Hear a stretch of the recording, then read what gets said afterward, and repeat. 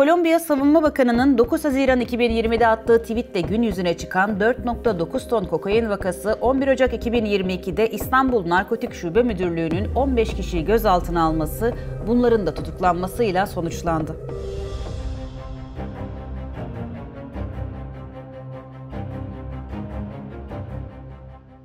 Geride 16 ay boyunca yapılan yorumlar, yazılar ve iddialar kaldı. Gerçekse her zamanki gibi sahipsizdi. O halde bugüne kadar tüm yazılıp çizilenleri unutun. Kolombiya Türkiye uyuşturucu hattını ve 16 ay boyunca yaşanan film gibi bir öykünün gerçek hikayesiyle baş başa kalın.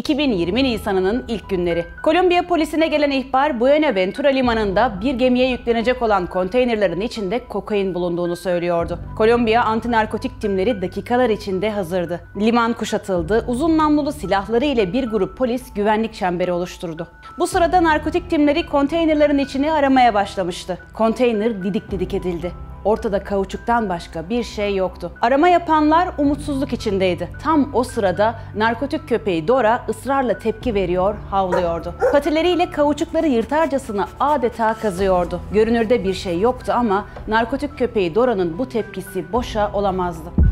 Kolombiya polisi konteyner içinden 3-5 numune kauçuk aldı. Kali şehrindeki Adli Tıp Enstitüsü'ne gönderdi. Sonuç pozitifti. Kokainler konteyner içindeki 30'ar kiloluk 1733 kanvas içine paketlenmiş granül kauçukların içine karıştırılmıştı. Kolombiya polisi 3-5 numune kauçuk üzerinden alınan numunelerden yola çıkarak orantısal bir hesaplama ile kokain miktarının 4.9 ton olabileceğini raporladı. Bu şu demekti. Aslında uyuşturucunun miktarı 4.9 ton olup olmadığı bile belli değildi. 3-5 numune numune üzerinden alınan örneklerle uyuşturucunun miktarı hesaplanmıştı. Gerçekte uyuşturucunun ne kadar olduğu bugün bile net değil. Uzmanlara göre aslında bu derece yüksek bir miktar uyuşturucunun nakliyesini değil Türkiye'de, dünyada bile sayılı uyuşturucu baronları organize edebilirdi. Adli Tıp Enstitüsü'nün raporundan günler sonra da Kolombiya Savunma Bakanı'nın yakalanan uyuşturucuya dair attığı tweet geldi. Artık dünya bu olayı konuşuyordu. Aynı anda Türkiye'de Ankara'daki Narkotik Daire Başkanlığı hareketlenmişti. Kolombiyalı bakan 4.9 ton uyuşturucu yakalandığını Twitter üzerinden duyurmuş, adresin de Türkiye olduğunu söylemişti. Ancak o saate kadar kendileriyle resmi bir temas kurulmamış, böyle bir bilgi verilmemişti. Derhal Kolombiya polis timleriyle temasa geçildi görüntülü bir konferans düzenlendi. İlk alınan bilgiler şu şekildeydi. Uyuşturucu ihbar üzerine 1 Nisan'da yakalandı. Konteyner içinde kauçukların içine karıştırılmış kokain bulundu. Tüm kauçuklar incelenmedi. İncelenen 3-5 kauçuk üzerinden uyuşturucu miktarı hesaplanmıştı. Uyuşturucu yüklü konteynerlerin adresi İstanbul Ambarlı Limanı'ydı. Yasal yükün sahibi Türk firmaydı. Kolombiya'da yakalanan uyuşturucu ile gözaltına alınan kimse yoktu. Sadece ortada bir uyuşturucu ve onun gideceği yer olan olan İstanbul Ambarlı Limanı adresi vardı. Birkaç gün sonra da Türk Dışişleri Bakanlığı da devredeydi. Kolombiyalı meslektaşları ile temasa geçti. Ancak Kolombiya makamları resmi bir bilgi paylaşımı içine girmiyordu. Tam da o günlerde Kolombiya Türkiye uyuşturucu hattı gündem oldu. Uyuşturucunun Türkiye'deki alıcısı ve nakliyecisi hakkında yorumlar yapıldı. İsimler ortaya atıldı. Bunların arasında eski bakanlar, bakan çocukları bile vardı. FETÖ'nün yurt dışındaki firari mensupları yayınlar yapıp Narkos Türkiye imajını vurguluyordu. Onlara Sedat Peker de eklenmişti.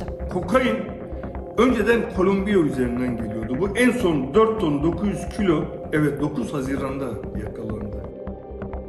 Narkotik Daire Başkanlığı ve İstanbul Narkotik Şube Müdürlüğü ise Ambarlı Limanı'na getirileceği öne sürülen uyuşturucunun sahibinin peşindeydi.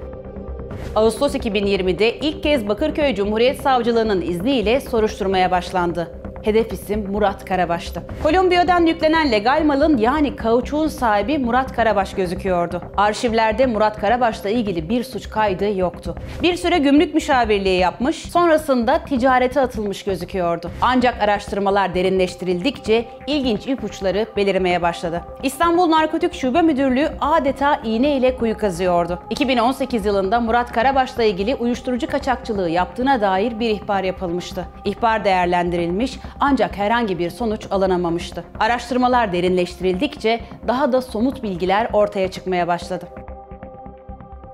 Mayıs 2020'de Murat Karabaş Bahçeli Evler'de bacağından vurulmuştu. Polis kayıtlarına bu trafik tartışması sonucu çıkan basit bir kavga sonucu meydana gelen yaralama olayı olarak geçmişti. İstanbul Narkotik Polisi Murat Karabaş'ı yaralayan kişinin uyuşturucu kaçakçılığından sabıkalı meşhur Gün ailesinin bir ferdi olduğunu tespit etti. Bu basit bir trafik tartışması sonucu meydana gelen bir olay olamazdı.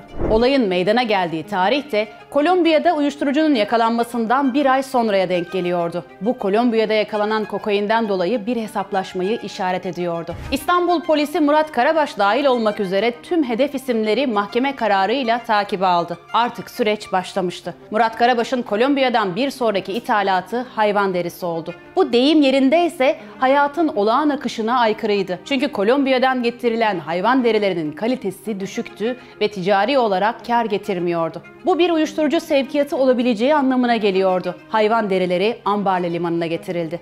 Narkotik timleri henüz deriler konteynerdayken gizlice inceleme yaptı. Sonuç negatifti.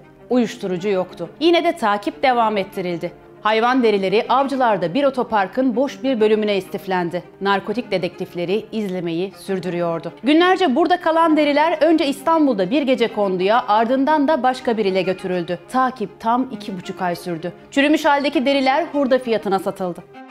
Narkotik timlerinin değerlendirmesi Kolombiya-İstanbul hattında bir kopukluk olduğu yönündeydi. Nisan 2020'deki yakalamadan sonra sevkiyat konusunda kaçakçıların tedbirli davrandığı yönündeydi. Uyuşturucunun buradaki ismi Murat Karabaş'ı gözaltına almak için İstanbul Narkotik Polisi sağlam deliller aramaya devam etmeli, ilişkilerini ortaya çıkarmalıydı. Yoksa şüpheliler ellerini kollarını sallayarak serbest kalabilirdi. Bu da uyuşturucu organizasyonunun aklanması anlamına gelirdi. Günlerce süren çalışmalar sonunda Murat Karabaş'ın bir başka uyuşturucu kaçakçısı AA ile bağlantısı tespit edildi. Bu kişi Ankara Narkotik Polisi'nin yaptığı operasyonda Kolombiya'dan çiçekler arasına koyularak getirilen 24 kilo kokainin İstanbul Atatürk Havalimanı'nda yakalanan 2,5 kilo kokainin de sahibiydi. AA ile Murat Karabaş arasındaki ilişki de tespit edildi. Uyuşturucu organizasyonunun tüm bağlantıları delillendirilmiş, ilişki ağları ortaya konmuştu. 11 Ocak 2022'de operasyon için düğmeye basıldı. İstanbul Narkotik Şube Müdürlüğü ekipleri Murat Karabaş'ın da aralarında bulunduğu 14 kişiyi gözaltına aldı. Sonradan bir kişinin de yakalanmasıyla bu sayı 15'e çıktı. Hepsi tutuklandı. Aradan geçen 16 aya rağmen Kolombiya halen Türk makamlarının adli yardımlaşma taleplerine cevap vermedi.